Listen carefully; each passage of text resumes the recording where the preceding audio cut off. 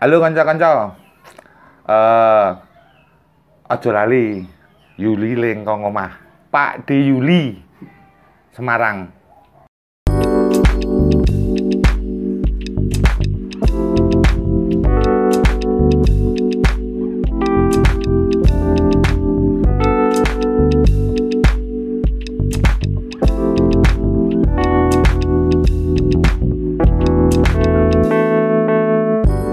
Halo teman-teman, nama saya Hari dan kami sekarang berada di kota Semarang. Sebenarnya gue ingin mengunjungi pasar ikan hias Semarang, cuman mereka sedang melakukan renovasi dan itu menurut gue nggak adil kalau gue ambil videonya lalu gue tampilkan.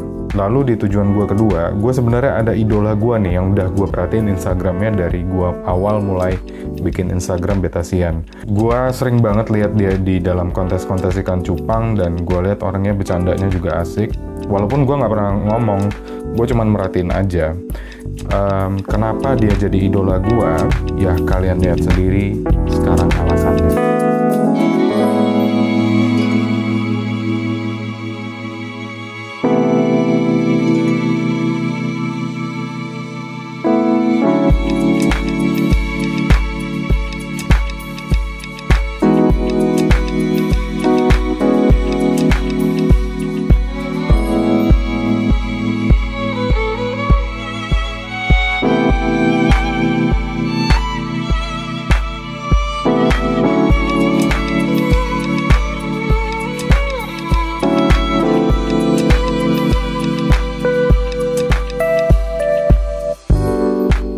Jadi udah jelas ya kenapa gue mengidolakan beliau dan gue udah stalking dari tahun yang lalu. Beliau ini adalah orang yang selalu mengikuti kejuaraan di mana pun dan beliau ini banyak menang juga dan beliau ini juga menang di dalam kategori yang menurut gue juga rada-rada susah ya yaitu di kelas yang long fin alias ekor panjang. Oke kita langsung aja di sini videonya nggak banyak uh, footage-footage yang canggih-canggih. Oke kita langsung aja ya. Bicara teknis nggak apa-apa ya bang. Ya, Ikan lo gue lihat, walaupun lo bilang lo nggak puas tadi, ya ini masih sisa-sisa. iya Pak, sisa-sisa lebaran. Tapi menurut gue itu udah luar biasa bagi gue yang awam. Itu sebenarnya cara ngerawatnya untuk sampai bisa tahap gini tuh gimana ya? Sebenarnya kebanyakan itu para pemain pasti takut sama half moon. Ya, saya takut. Karena half moon itu eh, kalau telat makan dia kuncup, Oh, telat betul. bersihin dia juga kuncup. Oke, heeh. Ah, jadi paling utama untuk rawat half moon itu settingan air. Mm-mm. Settingan air di rumah itu harus benar-benar dicek. Mm-mm. Habis banyak, habis banyak saya. Misal nih eh, beli 15 ekor, Mm-mm. kita pak- pakai settingan awal air di rumah, itu hancur semua. Dua tiga hari itu sudah habis kropos ekor-ekornya. Nah, pakai filter, kita kan pakai sumur, air sumur difilter dulu, bikin filter biasa kayak kita kolam koi gitu, sumur. Ada yang pakai ketapang, ada yang pakai obat biru. Mm-mm. Makan sehari dua kali minimal. Mm-mm. Kuras dua hari sekali. Mm-mm. Kalau saya jarang sifon, kan kadang ada yang di sifon, Yang di sifon. ada yang di sifon. Kalau saya nggak pernah, kuras total semua. Oh, kuras total. Ya. Per, Dua hari per sekali. dua hari sekali. Ya, untuk half moon. Nah, itu tenaganya gimana, Bang? Kan sudah punya pegawai saya. Ah, itu, itu yang mau masuk. Oke. Jadi ya alhamdulillah tiga tahun ini kalau tanpa kemajuan buat apa diteruskan kan gitu. Ah. Alhamdulillah udah ada yang bantu. Kalau buat saya sih bukan pegawai, partner, partner kerja buat saya. Karena eh, sebisa mungkin dia nyaman dengan saya. Oke, ah, Jadi caranya?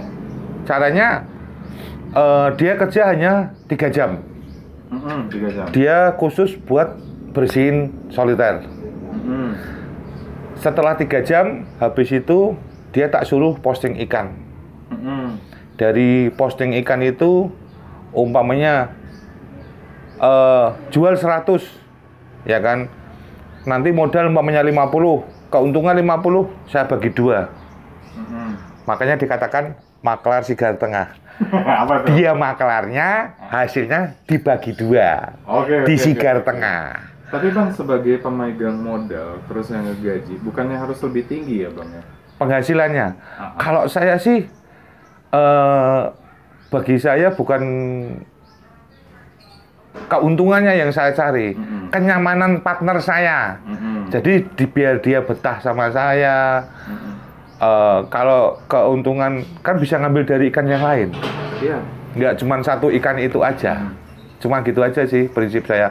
Bukan persentasi 70 di saya, 30 di dia. Enggak, kita bagi 50-50, 50%. Iya. Tapi aman selama ini ya? Alhamdulillah sudah hampir ikut saya satu, satu tahun. Sudah bisa ganti HP. Oh. Itu memang tak suruh. Ah, biar Cari duit ganti bagus. HP. Ya, biar fotonya bagus, video ikan biar bagus. Di sini pun dia tanpa harus biaya. Karena di sini tersedia ikan tersedia, Iya betul. wifi tersedia. Kan sudah nyaman, tinggal posting-posting posting aja. Oh iya. Taktiknya seperti itu sih. Jadi eh, partner saya kerja juga enak, hasil juga ada, tambahan juga ada. Mhm. Seperti itu aja. Hmm. Dia itu katanya bang, kalau misalnya tadi telat makan ya, kuncup, Ya, kuncup. terus em, telat apa lagi tadi? Bersihin. Bersihin, kuncup. Iya. Penyakit yang paling sering itu apa? ya? Iya, kalau albun itu cuman kebanyakan mereka pada takut itu. Kuncup. Kuncup. Nggak bisa ngerawat karena benar-benar kuncup, benar-benar kuncup. Cuman karena mungkin mereka nggak mau istilahnya berisiko ya. Jadi beli beli rusak, beli rusak. Tapi kalau orang mau belajar memang harus seperti itu. Memang harus berkorban. Kalau enggak berkorban gimana mau nyoba?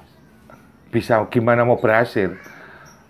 Saya habis berapa aja? 10 habis. Merah dulu saya nggak berani. Paling anti sama warna merah sama warna oranye terang. Kenapa bang? Airnya nggak cocok. Oh gitu. Ya, sama air sini, air orisinnya nggak bisa. Dia jadi apa bang? Ekornya gripis, Oh. gripis. Dua hari itu langsung gripis langsung. Mhm. Ekor kuncup. Makanya eh, coba beli lagi lima dengan settingan air yang berbeda, masih sama, besok diganti. Jadi seandainya ya ini saya pakai obat biru, besok pagi ini kuncup, cuci lagi, ganti settingan air lagi, pakai ketapang. Jadi eh, kita jangan takut untuk belajar bisa rawat halbmun. Tapi kalau dari dari makan gimana bang? Kalau makan sama sih jentik, Jentik aja ya. jentik, jentik itu sebenarnya makan juga aku masih eh, kadang campur. Mhm. Kalau dia terlalu kurus, kadang saya selingi cacing sutra Mhm. biar dia agak gemuk sedikit. Agak gemuk. Tapi habis itu kembali lagi ke jentik. Hmm. Karena buat halmun jentik paling bagus. Ah, ah, ah. Soalnya kalau di zamanku dulu tahun 9798 itu paling nggak boleh Jentik. eh, Tasut. cacing sutra. Tapi memang eh, karena kandungan lemaknya lebih Iya. perlu juga ya. Iya, karena kadang kan kita ngelihat ikan ini udah gemuk. Ah. Tapi ada teman datang ikanmu kok kurus-kurus. Itu besok langsung aku eh, seminggu itu kadang dua kali kasih casut. Sutra. Iya, cacing sutra buat ngemukin badannya dia. Cuman buat nebelin aja dikit. Tapi si si ekor nggak bakal Si ekor nggak bakal ngaruh karena kita butuh untuk ketebalan dia. Tapi kalau dia dari kecil jentiknya eh cacing sutra dulu, badan melar, gede ekor nggak bakalan ngikutin. Ah, ah, iya iya iya. iya. Karena kan gitu toh, kalau Nah. dari buraya itu sudah dihajar sama casut, badan melar. Hmm, hmm, hmm. Badan melar panjang, ekor nggak bakalan nyusul, nyusul, susah nyusulnya.